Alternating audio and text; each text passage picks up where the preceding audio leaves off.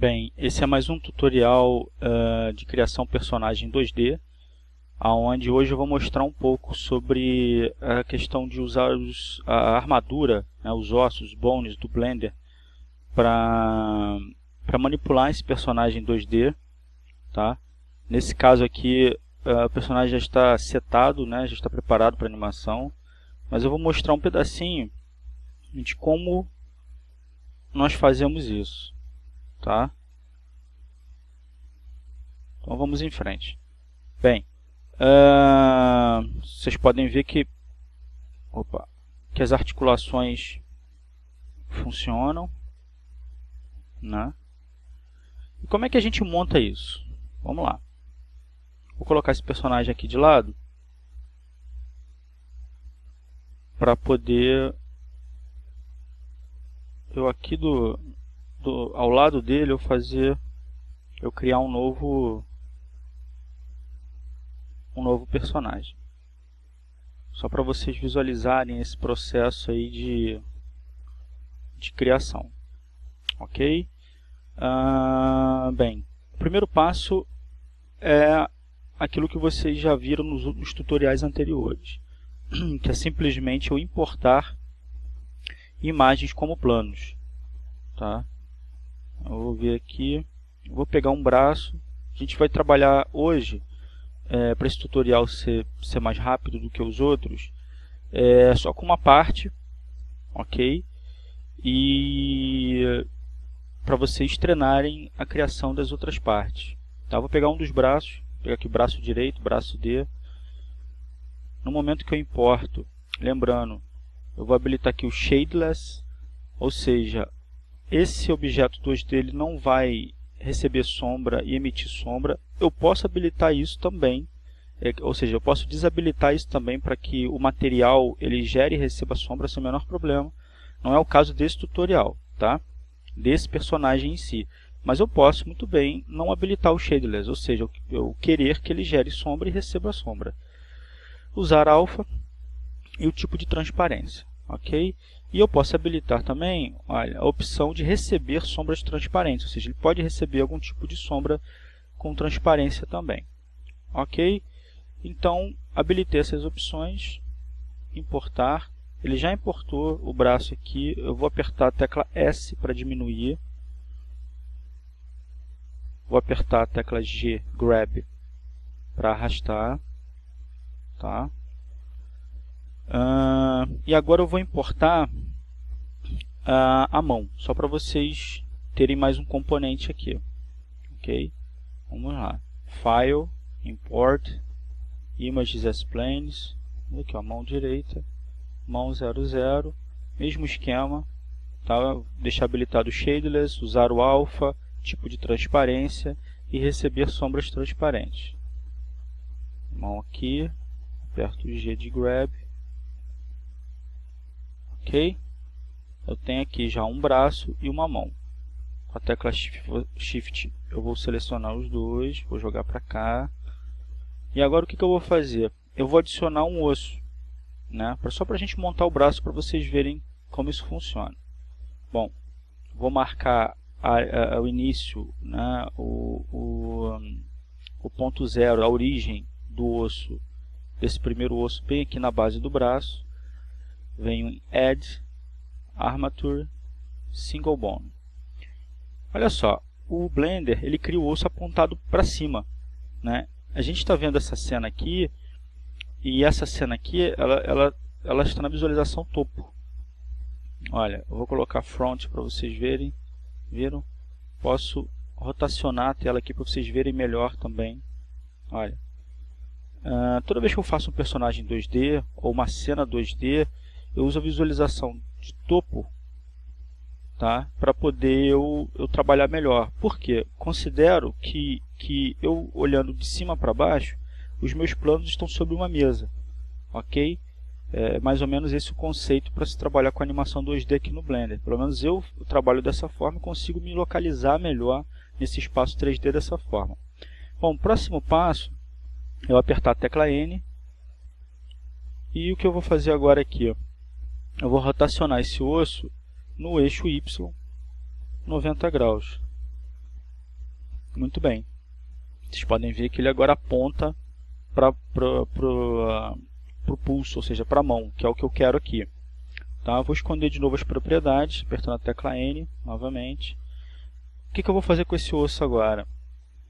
Eu vou é, pedir para ele desenhar como stick e ligar o X-Ray, que é o raio-x, para poder vê-lo sempre é, entre as, as imagens 2D. Posso colocar outras visualizações, envelope, wire, que é grade, o octaedron, que é octavo, mas eu vou deixar no stick, que é, é a mesma visualização desse outro osso aqui. Bom, criei o osso, vou entrar em modo de edição. Tá? O que eu vou fazer agora? Eu vou primeiro grab x, colocar ele mais ou menos onde é a distância do meu, da dobra do braço. E agora com a tecla E de extrusão, eu vou criar a outra parte do braço e com a tecla E de novo, apertei, arrasto, vou fazer a mão. Bom, vou dar uma ajeitada aqui agora.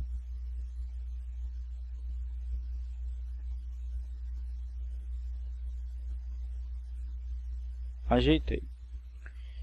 Bem, uh, saio do modo de edição, vou, volto para Object Mode. Uma coisa que eu vou precisar fazer em tudo, todas as partes 2D que tem dobras, por exemplo, o braço, é entrar em modo de edição. Vou dar um zoom aqui para vocês visualizarem melhor. Olha, o, quando você importa um objeto 2D, ele importa um plano. Né? E eu só tenho quatro vértices aqui, olha, dois nessa ponta e dois nessa outra ponta. Eu preciso subdividir essa malha para que quando eu tenha aqui no, no é, é, para que quando eu, eu, eu, dobre esse braço, ele encontre essa subdivisão, subdivisões próximas do cotovelo para ele dobrar o braço direito. Então, olha, entrei em modo de edição do plano, no caso aqui é o braço, e eu vou subdividir. Eu tenho aqui essa opção, olha, subdivide. Olha o que eu estou fazendo. Eu subdividi algumas vezes esse plano. Okay? Poderia fazer isso de outras formas? Poderia. Poderia fazer isso usando a ferramenta de, de faca para cortar apenas é, em um sentido? Poderia também. Mas utilizei essa, essa, essa forma aqui porque considerei nesse momento mais prático. Poderia eu, voltando no Ctrl Z aqui, para vocês visualizarem, poderia eu apertar o K, que é de, de faca, e subdividir essa malha aqui. Olha subdividir uma vez aqui. Opa. Deixa eu consertar aqui. Cá. Marcar duas pontas aqui, aperto Enter, cortei uma vez, vou fazer de novo, tecla K, olha, marquei em cima, marquei embaixo, apertei Enter, subdividir novamente. Posso fazer isso mais de uma vez. Novamente, tecla K, marquei os dois pontos, Enter, novamente tecla K, marquei Enter. Bem, subdividi na altura do cotovelo, que é onde eu queria essa subdivisão para poder ter uma dobra melhor nessa área. Perfeito? Feito isso, saio do modo de edição de malha, né? tenho ali as minhas subdivisões, e agora sim eu vou linkar a malha, no caso o braço, ao osso. Como eu faço isso? Bem, como é, na versão 2D de, de setagem de preparação de personagem é mais simples essa questão de eu linkar, eu não vou me preocupar em criar grupos de vértices, vértice groups, para as partes 2D. Eu simplesmente seleciono o braço, está selecionado, aperto a tecla Shift, seleciono o osso, selecionei, o que, que eu vou fazer agora? Qual é o próximo passo? apertar a tecla P de Parent. Desculpa. É, Ctrl P. Aperto a tecla Ctrl P para fazer o parentesco. Ou seja, primeiro eu tenho que selecionar é, a, a parte do corpo. No caso, o braço. Selecionei. Seguro a tecla Shift. Seleciono o osso. Aperto Ctrl P né, que é o ajustar ou, ou, setar o parentesco. E eu digo que tipo de parentesco eu quero. Bom, eu vou pedir para ele criar com pesos automáticos. Ok? esse vínculo da malha com o osso. Vou fazer o mesmo com a mão agora, só que de uma forma diferente. Bom, o processo é o mesmo. Primeiro a mão, aperto a tecla Shift, seleciono o osso inteiro, Ctrl P, e agora eu digo que eu só quero o tipo de parentesco com bone. O que, que eu fiz aqui agora? Vamos lá. É, eu vou ter que voltar um passo anterior, na verdade. Bom, é, agora para eu fazer isso com a mão, eu não quero que a mão se deforme. O braço, eu, eu quero a deformação do braço na, na altura da junta. Mas a mão eu não preciso deformar a mão, eu só quero que ela fique linkada, vinculada ao osso da mão. Nesse caso, o que eu faço? Eu clico sobre o osso, entro em modo de Pose Mod, que é o modo que a gente usa para poder manipular o osso. O osso tá, estando em Pose Mod, seleciono a mão, aperto a tecla Shift, seleciono o osso que eu quero parentesco. Então, eu tenho agora aqui a mão e o osso que eu quero vincular e aperto Ctrl P. Nessa opção de, de, de, ajustar o parentesco, eu digo que eu quero o ajuste pelo osso. Que, que eu fiz agora? Eu vinculei a mão apenas a esse osso aqui. Ou seja, eu clicando somente sobre o osso e manipulando ele, olha, a mão já está vinculada a esse osso, mas ela não deforma. No caso do braço, há deformação. Olha, por quê? Porque eu não usei o tipo de parentesco que é o de vincular apenas ao osso, e sim a cadeia inteira de ossos. Vocês podem ver que a deformação não, não, não se encontra muito bacana ainda. O que, que eu posso fazer para melhorar? Entro na malha, entro em modo de edição, olha, Edit Mode, e eu posso fazer o procedimento que eu não tinha feito anteriormente, que é subdividir. Vamos ver como é que isso aqui ficou. Olha, já melhorou um pouco. Tá? Na verdade, isso aqui tudo a gente pode ajustar e reajustar. Tá ok?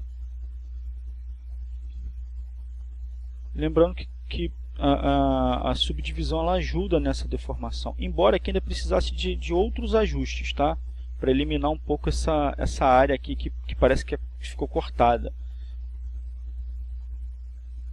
Mas nem é o caso agora. Ah, então é basicamente isso. É, vimos aqui como é, vincular uma, um objeto 2D é, de forma a se deformar, se deformar junto com o osso e como vincular um objeto 2D sem deformação, apenas linkar, vincular esse objeto 2D ao osso. Bom, só para complementar, vou relembrar o tutorial, um dos tutoriais anteriores, onde eu posso manipular a mão né, é, de forma que eu troque a biblioteca, né, que eu utilize uma biblioteca para trocar a posição da mão. Como eu faço isso? Bom, entro aqui em modo de textura, tá? eu tenho aqui a mão, eu havia importado ela como uma, como uma imagem só, pois é, só que ela, é, ela tem que estar com a opção de sequência de imagem, aqui já se encontra, porque eu já tenho outro objeto de mesmo nome aqui e ele puxou as propriedades mas geralmente ele vem como single image, tá? Quando você importa a mão, né, um objeto com biblioteca para o Blender, ele vem como uma imagem única. Depois é que você tem que botar image sequence e ajustar aqui as propriedades, no caso já estão ajustadas, onde eu digo que eu só quero um frame por vez, né, começando no frame 1, e o offset é onde eu manipulo aqui a troca dessas minhas mãos. Ok? Nós já vimos isso em tutoriais anteriores, tá? Só para relembrar vocês como fazer. Perfeito? Bom, então esse foi o tutorial de hoje, que é simplesmente o vínculo de, de objetos 2D à armadura aos ossos do Blender.